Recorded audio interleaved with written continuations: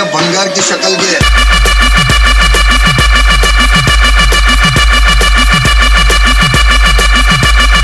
कौन रोकेगा हमें?